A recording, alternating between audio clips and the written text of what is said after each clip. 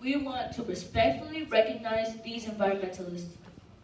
As we, as we learned about their contributions to our environment, we learned how to be responsible for the world we live in. Denzel Thompson, one of the Roots 2014 Young Futurists, co-founder of the Philadelphia Urban Creators, a youth-driven organization that turns abandoned city lots into urban farms. Lisa P. Jackson. President Obama appointed Lisa P. Jackson as the first African American administrator with the Environmental Protection Agency, a New Orleans native. Jackson's career in environmental regulation spans to almost 25 years. Mark Fulano, founding president and CEO of Latinos, the national coalition of Latino environmental, natural resources, and conservation leaders. The first Latino to serve as senior staff at both the White House and in congressional leadership. Lisa Garcia, Vice President of Litigation for Healthy Communities.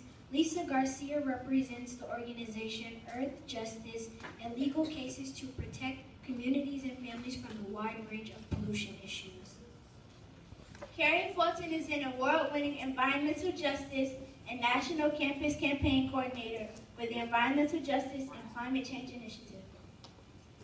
To Tafara John King, fed up with the unhealthy environment plaguing his Brooklyn, New York neighborhood. John King founded Project Growing Up as student president at Medgar Evers College Preparatory School.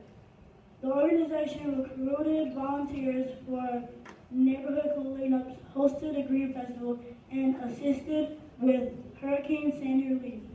John King is one of the Roots 2000, 2014 Young Futures and is now at Harvard and serves as an advisor to the group he founded at his high school.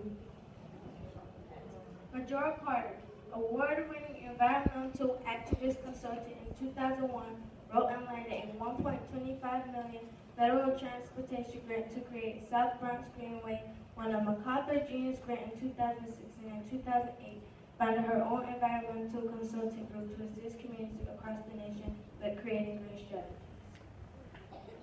Terrell Jill. Here at Westwood Elementary, our teacher Terrell Jill has taught us many things about the environment and improvement.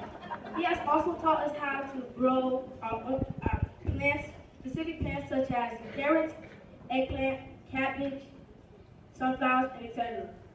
He has caused me to do research, and I hope I could sh share what I learned with my fellow students. Today, planting these trees, are like these environmentalists.